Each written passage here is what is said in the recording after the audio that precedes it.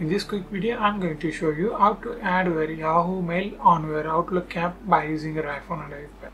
Okay, first you need to install the Outlook app on App Store. Then after that, just type VPN search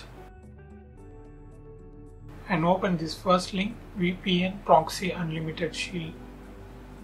Just install this app. I usually download this app if you want additional features and safety means, you can go with NordVPN. I will leave the official link in the description. If you want, you can check that. Just open that.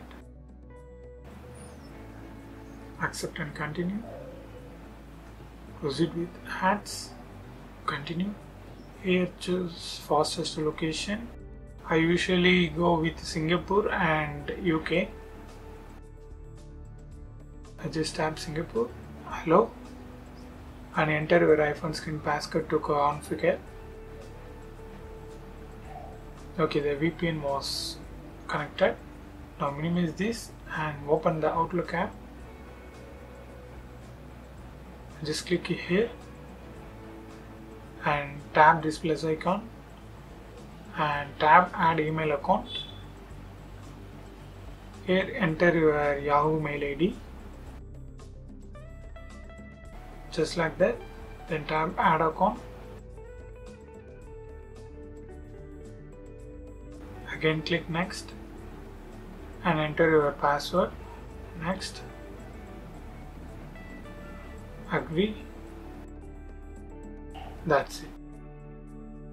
Now your Yahoo mail account was successfully added in Outlook app by using your iPhone and iPad here you can see that Yahoo account.